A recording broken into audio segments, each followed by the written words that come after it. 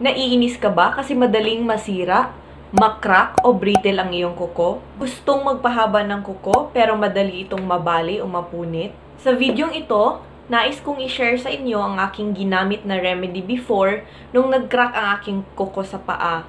Sapagkat palagi akong nagsusot ng sapatos kasi nga party ng trabaho. Nung nag-crack, ang kuko sa aking paa, nahirapan talaga akong solusyonan ito. And may naka-advise sa akin, and many times ko na ding narinig, ang gamot na to. If you are interested, please continue watching.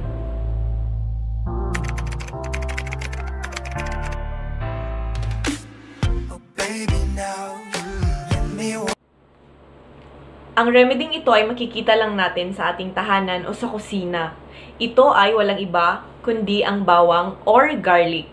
Ang bawang ay nagtataglay ng selenium which helps our nails grow stronger. Garlic also fix cracked nails, broken nails, and even brittle nails or yung madaling mapudpod or madaling mapunit na mga kuko. Paano ito gamitin o i-apply? Una, kumuha ng isang pirasong bawang o garlic.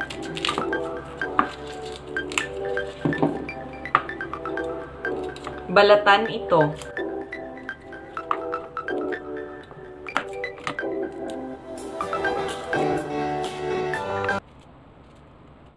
Dikdikin ang bawang upang lumabas ang kaniyang oil.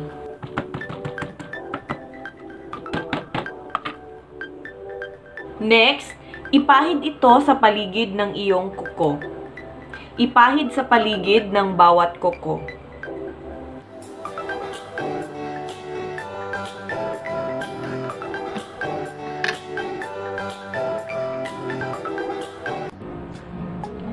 Siguruhing nalalagyan ng oil ang bawat bahagi ng iyong kuko.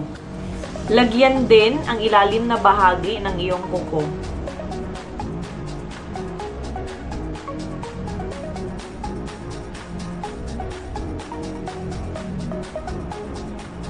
Siguruing lahat ng parte ng kuko at lahat ng kuko ay nalagyan. Ang prosesong ito ay gawin every 2 to 3 times in a week. Ito ay hindi lang nakakagaling ng mga broken nails, kung hindi nakakatulong din upang tumubo ang iyong kuko ng mas matibay. I-leave ang oil ng garlic sa iyong kuko ng 15 to 20 minutes bago ito banlawan. Ikaw ay makakaramdam ng kunting kirot or paghapde sa ilalim ng iyong kuko. Yan ay natural lamang dahil sa garlic oil. Kung napansin nyo, minsan ang ating kuko ay parang kinakain dito sa ilalim. Nagkakaroon siya ng space. Yan po ay dulot ng bakterya.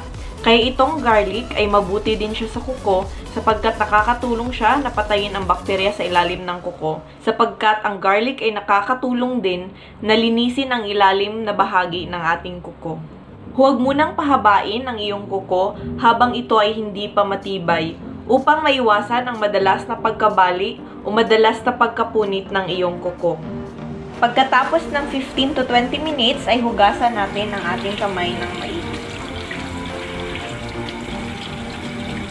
Hugasang mabuti ang kamay upang mawala ang amoy ng garlic.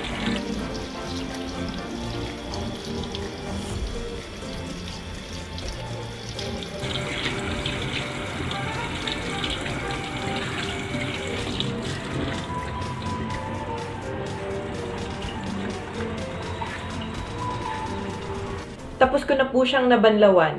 Ganun lang po kasimple at iwas gastos pa. Marami pa po sa atin ang medyo nahihirapan kung paano gamutin ang mga kuko na nasisira, yung mga nakrak at iba pa. Proven and tested din ako nito kasi before, malapit na ring mahati ang kuko ko sa paa.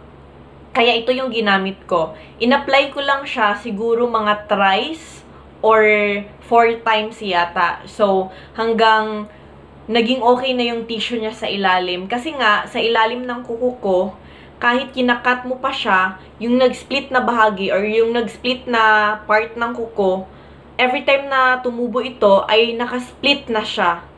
So, akala ko hindi na siya maging okay hanggang sa ina-applyan ko lang siya ng garlic oil siguro parang four times. Four times ko lang talaga siyang inaplayan. And then yung sumunod na ano, sumunod na tubo niya is okay na po siya. Hindi na po siya nakasplit. That's all for today, everyone. And I hope na meron kayong mga natutunan sa video ko. And if nagustuhan niyo ang video to, please share.